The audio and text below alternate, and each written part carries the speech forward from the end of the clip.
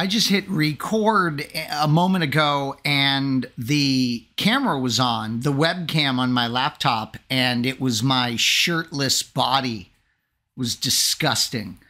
Anyways, uh, welcome to this quick video. We are going to take a look at installing Linux in Windows 11. Yes, that brought a huge smile to my face saying that. So funny how things have changed in the world of Windows. We love it.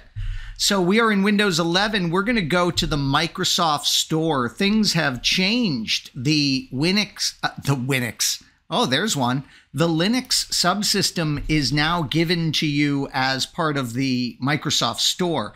This is great news. So I'm going to do a search on Linux. And if you look in here, you'll see the Windows subsystem for Linux. This is in preview technically right now. Maybe by the time you do this, it'll be out of preview. But from what I've heard, this is going to be the very stable way to install the subsystem for Linux. What's going to be great about this is that they, being Microsoft, can now frequently update this for us, making it not part of the Windows code like they had done in Windows 10. Separating it out like this is going to be great news so that they can make it better for us more consistently, like, you know, uh, Linux itself.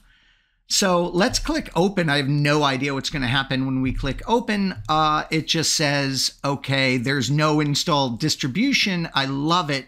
And it can, uh, you know, give us, uh, it gave us suggestions on distributions. And of course, that's now going to be just rerunning our search on Linux and picking your favorite flavor. I'll do an Ubuntu install here. I'll just say get, and uh, I'll pause the video as this installs, and then I'll show you what happens when it's done. All right, so that finished up. It took about three minutes, and uh, let's see. Oh, this is interesting. Uh, it's saying that a required feature uh, is not in existence, so it can't start. Now, one thing that's interesting is it didn't have me reboot after installing the Linux subsystem. That was definitely something we had to do before.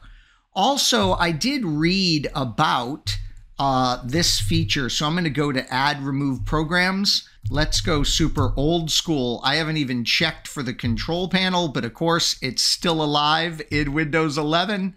I'll go to my large icon view and I'm going to programs and features, old school and we go to turn Windows features on or off. And what I was reading about was there may be a setting in here we still need to turn on manually, and that is the virtual host functionality. So let's check for that. I'm going to scroll down here.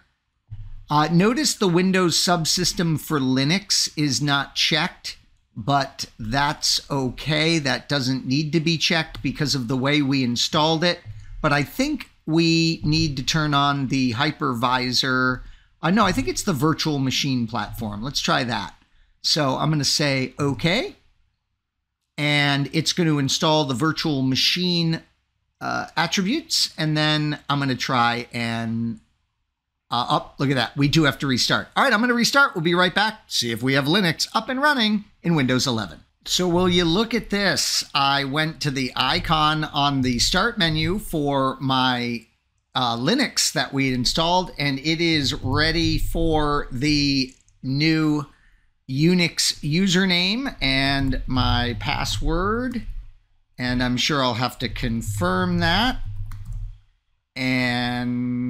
Yes, I want to try again. Let me go slower. And let me go slower one more time. And there we go. And we are running the show version. I just lapsed into Cisco language there. I think I want uh, uname-a to check the version. And yes, there we go.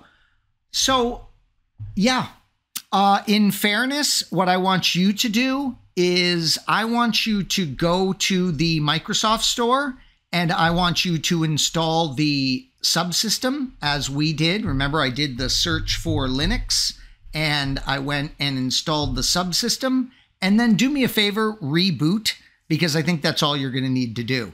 So they didn't have you reboot, but reboot. If uh, you're still not functioning properly, then go ahead and do that step that I did and enable the virtual machine support. Uh, but yeah, I want you to try rebooting first because, in fairness, I didn't test that. Remember what I did as troubleshooting? I made the add remove programs change, then I rebooted, and it's working. We don't know uh, the dependency there. Well, thank you so much for watching, and uh, I'm going to go have some fun with Ubuntu here in none other than Windows 11. And now to end this video in a totally random, fun way, uh, this is a video that just popped up on my Windows 11 system. It went out, it apparently, and it gathered up all my videos and shortcut them in a videos folder for me. And I see Network Chuck, the great YouTuber, uh, Network Chuck here with one of his adorable daughters. And this was a video he sent me uh, threatening to start playing his guitar again as a result of me picking it up. So, adores. Hola to Network Chuck and his family.